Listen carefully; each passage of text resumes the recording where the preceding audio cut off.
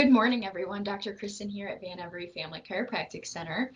This morning, I'm going to talk to you all about sunburns. It's a perfect time. We just got through a crazy heat wave here in Michigan. And um, what I would really love to talk about is how to heal a sunburn because sometimes they're unavoidable. I am very fortunate that I have a mom who is half Lebanese, so I don't burn very easily, but every so often it does happen, especially because I like to avoid sunscreen, and there are plenty of you out there who don't really want to put sunscreen on your body just because of all the other chemicals in it.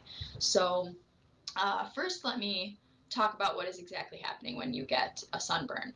So, it's important for everyone to remember that your skin is actually an organ. It's the largest organ in your body. So, a sunburn you shouldn't really, you know, flip it off as no big deal, just a sunburn, because you are damaging one of your organs. It covers your entire body.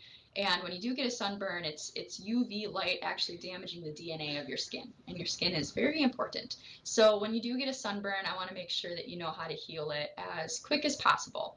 And First and foremost, when it comes to healing a sunburn, like I said, go ahead and remember that your skin is an organ. So, overall body health is important when you're trying to heal it. So, that means eating healthy.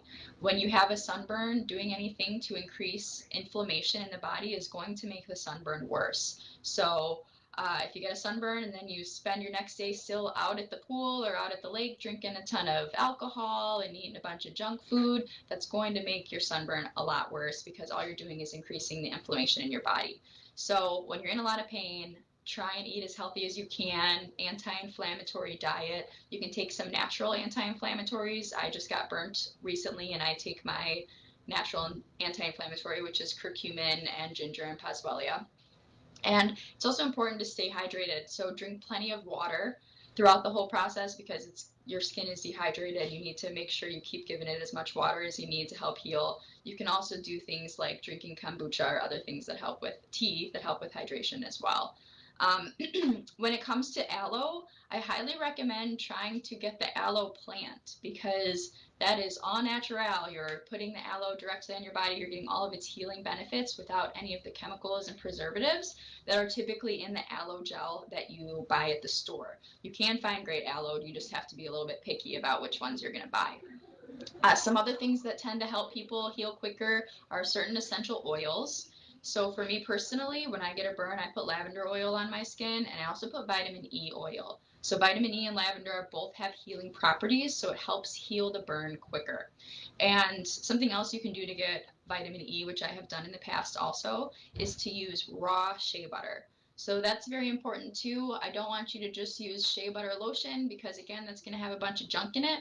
So if you use raw shea butter, you're getting all of those healing properties that that offers before it gets turned into a nice, easy lotion to put on the body.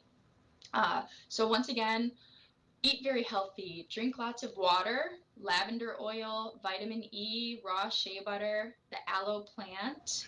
And one thing to point out also is that first 24 hours after a burn, you don't want to actually trap that heat in your skin. So don't put coconut oil on your body right after you burn. A lot of people use coconut oil to help their burn heal, but that first 24 hours, keep it off your skin because any oil based product that's going to keep the heat trapped under your skin is not good for you.